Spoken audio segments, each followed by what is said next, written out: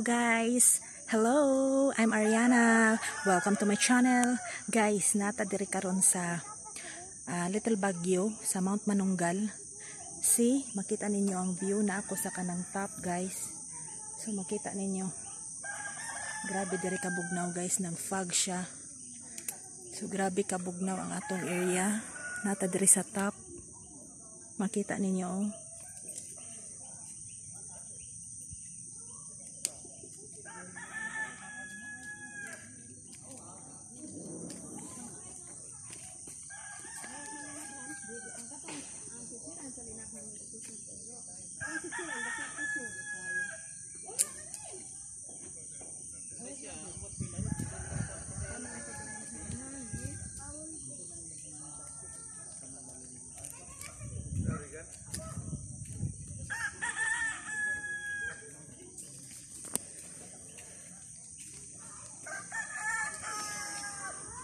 So guys, this is my second time na niari diri sa Mount Manunggal ba?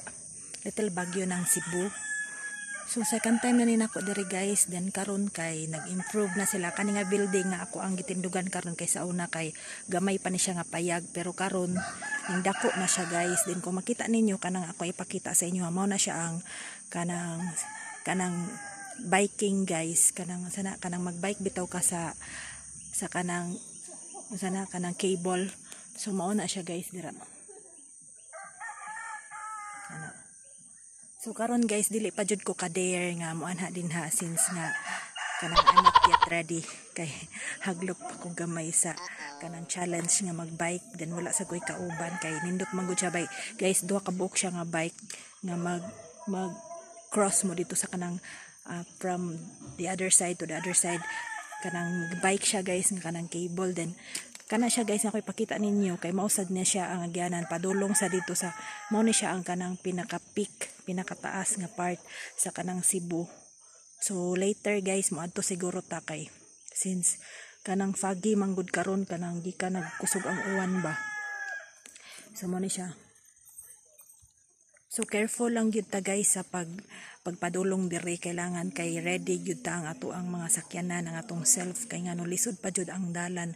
As in one way lang siya dan uh, from each side kay puro gyud bangin. Ganiha guys pagpadulong na mo diri kay kanang timing kaayo. Kung asa dito katong sakaon pa jud nga part tapos kanang one way lang ang makasulod. Nagsugat pa jud mi sa katong isa kasakyanan nga dako. Sad siya kay kanang kuan siya pick up pick up truck siya. So, nagsugat mi ako pasaka siya padulhog.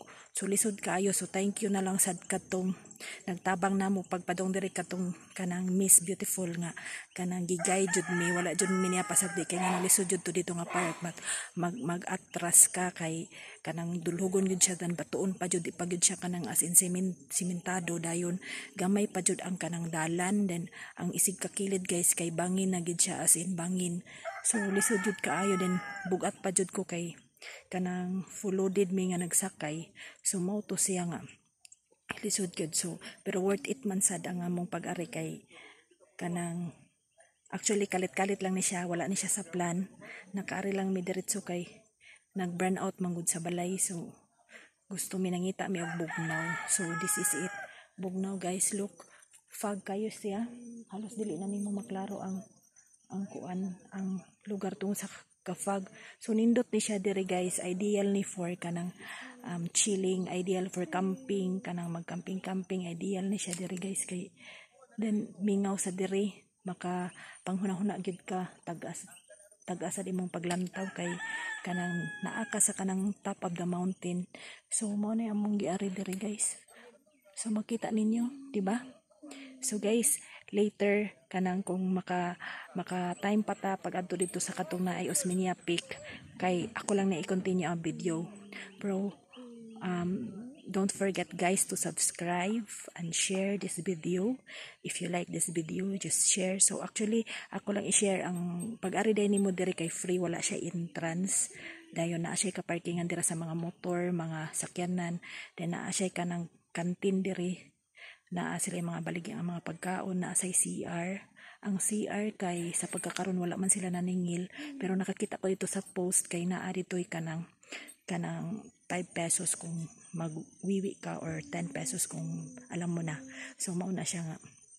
Pero sa pagkakaroon ni ato mi dito wala man sad. So so far sad kay kanang clean and green pud siya daghan siya mga plants as in nindot gid siya nga suruyan. So mao ni siya guys. Um, please don't forget to subscribe Ariana. Then kato di akong vlog sa una hapit na rabang Pasko. So nag-start na ko og kanang hinahinay ato para pag tanaw na ko pag-validate sa inyo hang mga entry. So please ko guys subscribe na mo. And then advance Merry Christmas sa, sa atong tanan. And thank you guys. Thank you for supporting sa kanang mga subscriber na ko thank you then. Guys watch out. Na, na nanasad ko kanang new product nga kanang new product nga kanang i-launch. Hapit na siguro mga next week. This is a uh, fragrance product French from French. So uh, ato ni siyang kanang ako sa ni siyang i-live. Para sa ako ang welcome back sa akong FB kaya ako FB nagka problema something went wrong.